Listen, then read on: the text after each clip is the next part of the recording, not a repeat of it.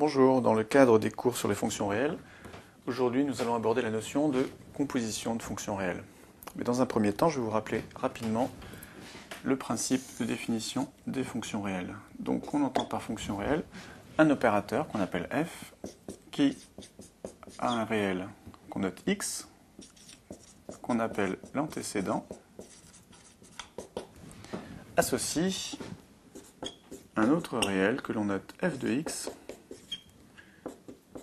et que l'on appelle l'image.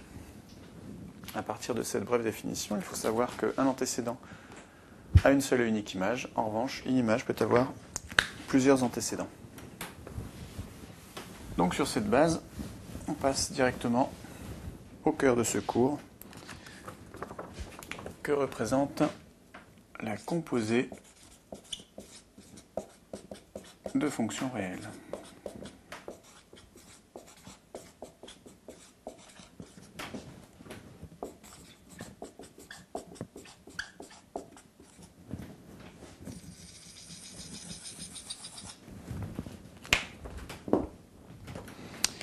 Donc, le cadre de cette définition, on considère une fonction f définie sur un ensemble df. On considère une fonction g définie sur un ensemble de définitions dg. Mais dg doit être tel que pour tout x élément de df, f de x est élément de dg.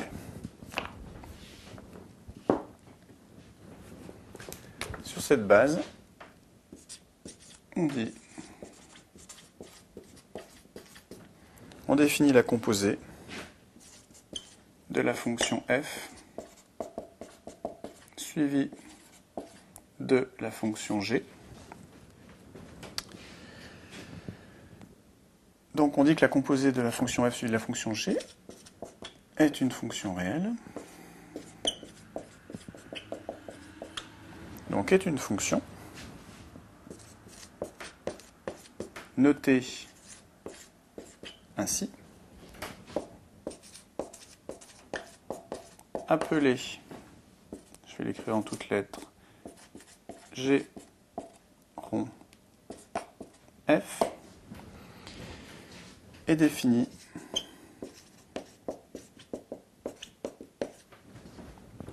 pour tout x élément de df par g f de x égale g de f de x. Voilà pour la définition. Maintenant, on va tout de suite passer à deux mises en garde. C'est ce qu'on appelle la rubrique Attention.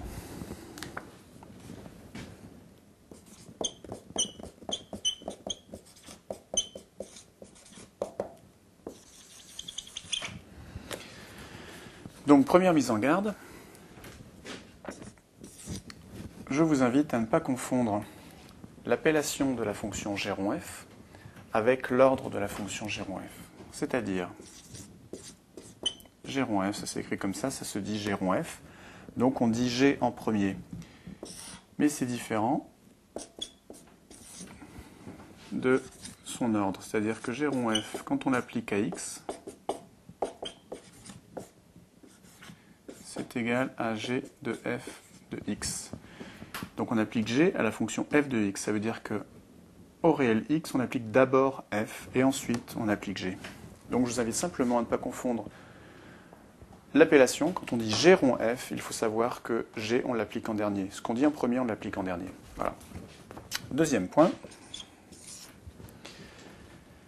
La deuxième mise en garde, c'est que, on l'a vu tout à l'heure dans la définition, on considère une fonction f définie sur un ensemble de définitions df, une fonction g définie sur un ensemble de définitions dg. Donc f sur df, g sur dg. mais tel que pour tout x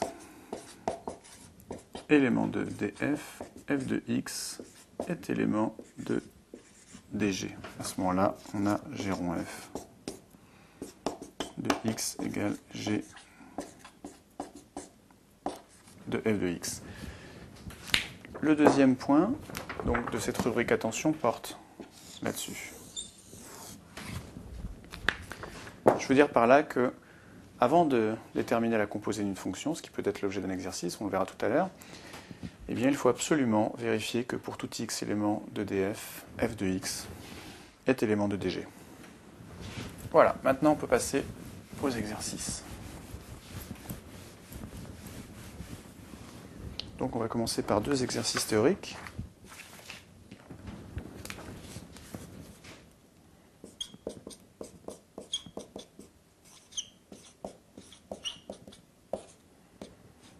Exercice 1. Calculer la composée G f les deux fonctions f qui à x associe à x plus b et qui a g la fonction g qui à x associe cx plus d. Voilà, voilà la question. Déterminer la composée g f. Donc avant de répondre à la question, on s'occupe de l'ensemble de définitions. f est défini sur R.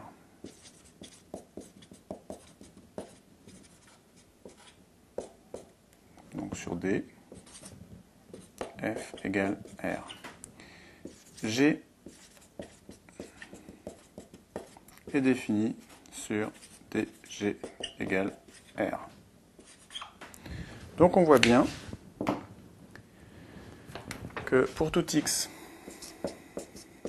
élément de df égale R, on aura f de x élément de dg égale R. Ça, ça fait partie de la définition.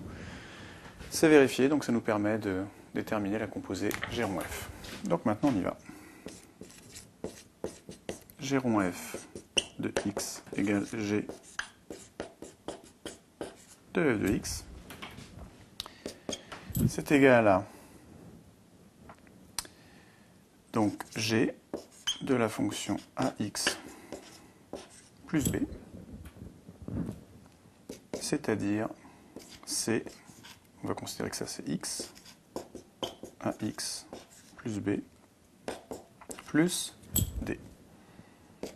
On développe cax plus cb plus d. Mettre c en facteur, c'est-à-dire c facteur de ax plus b plus d. En conclusion, la composée g rond f est une fonction définie sur R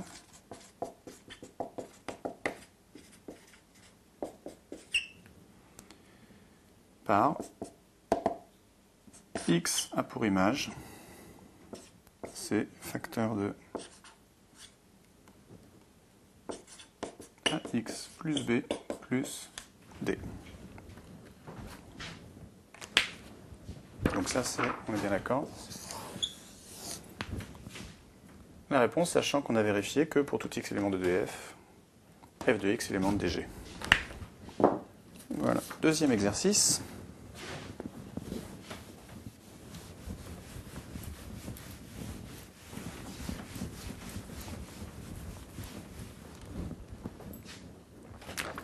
Exercice 2. Soit f la fonction qui a x associe à x carré plus bx plus c. Il s'agit ici d'écrire f, d'écrire l'expression de f comme composée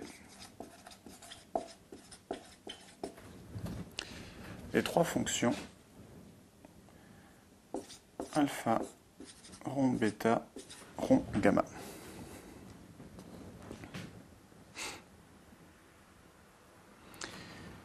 Donc, avant de répondre à la question, on s'intéresse à l'ensemble de définition de f. Ici, f est une fonction définie sur R. Donc quelle méthode appliquer? Eh bien il faut faire apparaître des expressions différentes dans l'expression f. Donc ce qu'on propose c'est de mettre f sous forme canonique. Donc pour mettre f sous forme canonique, on a f de x égale ax carré plus bx plus c. Ici on a x carré plus, quelque, plus bx, donc on va essayer de faire apparaître un carré ici. Donc premièrement, on met A en facteur.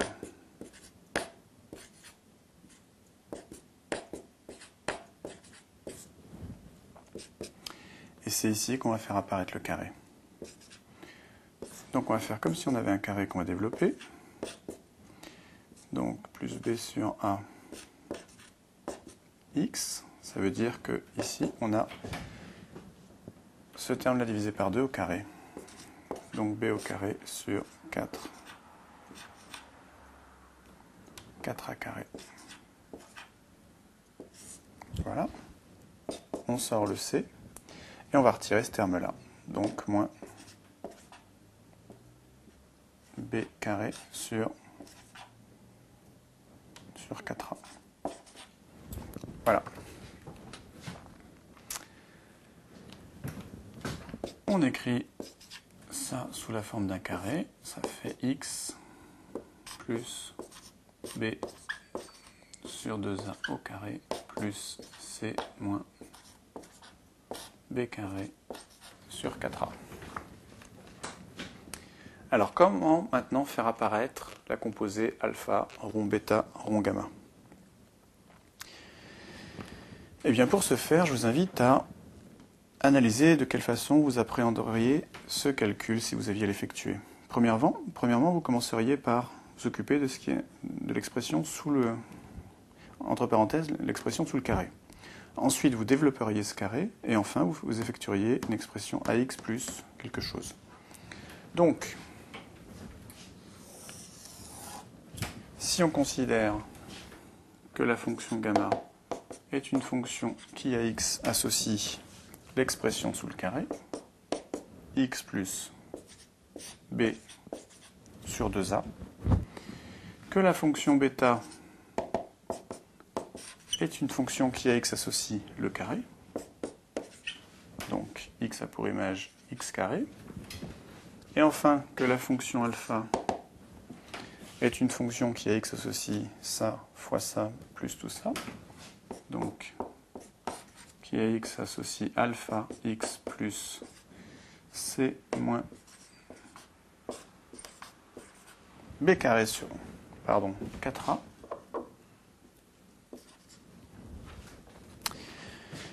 Eh bien, on voit que à ce moment-là, f de x égale alpha rond bêta rond gamma de x puisqu'effectivement, on commence par appliquer gamma à x, c'est-à-dire qu'on transforme x en x plus b sur 2a. Ensuite, on applique bêta, c'est-à-dire qu'on élève cette expression-là au carré, ici. Et enfin, on applique cette expression-là, c'est-à-dire qu'on multiplie tout ça par a, ce qui est le cas ici, et ensuite, on y ajoute c moins b carré sur 4a. Voilà pour l'exercice 2. Exercice 3.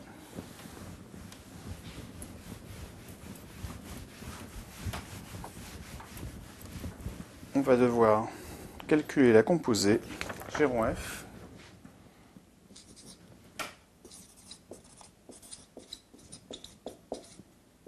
Composée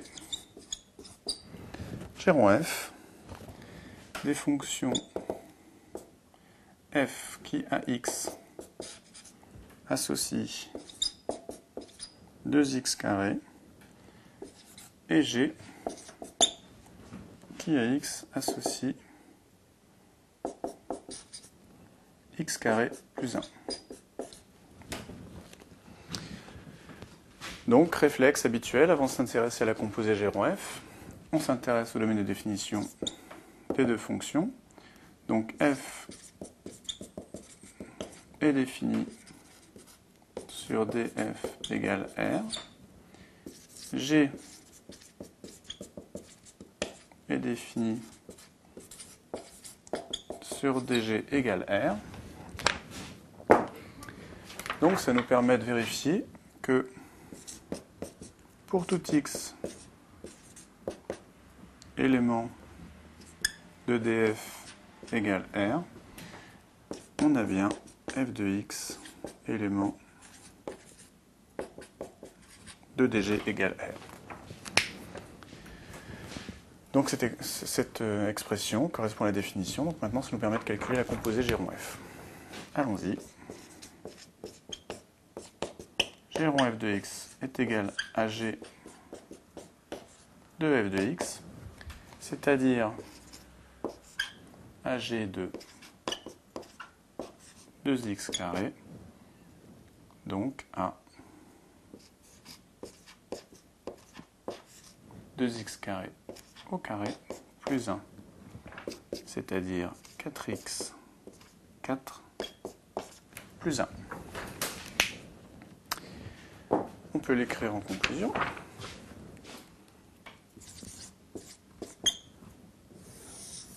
G f est donc une fonction définie sur R par x a pour image 4x4 plus 1.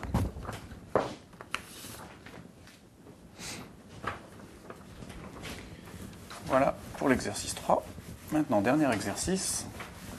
On va encore calculer une composée G f.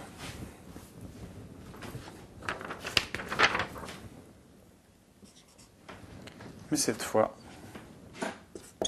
f est la fonction qui à x associe racine carrée de x. Et g est la fonction qui à x associe 1 sur 2x plus 1. Donc, réflexe habituel, avant de déterminer la composée g rond f, on s'occupe des ensembles de définition.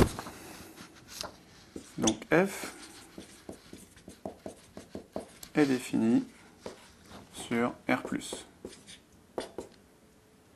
C'est-à-dire 0 plus l'infini. G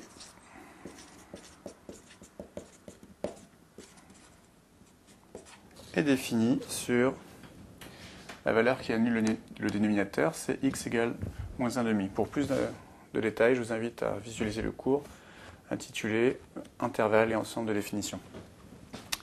Donc, G est défini sur R moins, moins 1,5. À partir de là, avant de calculer la composée, il faut, vérifier que pour tout x élément de df, f de x est bien élément de dg. Donc f de x, c'est la fonction qui est x associée racine de x. Racine de x est toujours positif. Donc a fortiori, racine de x est forcément dans l'intervalle r moins moins 1,5. Donc on a bien f de x élément de dg. Voilà, à partir de là, on peut calculer la composée.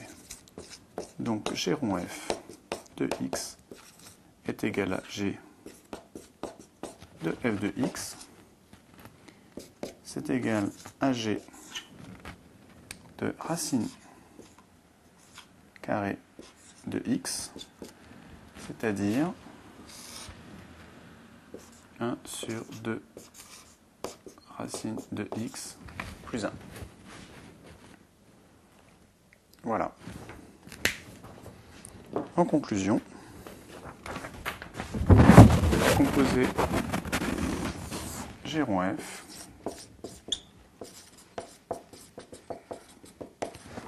fonction définie sur R+, c'est-à-dire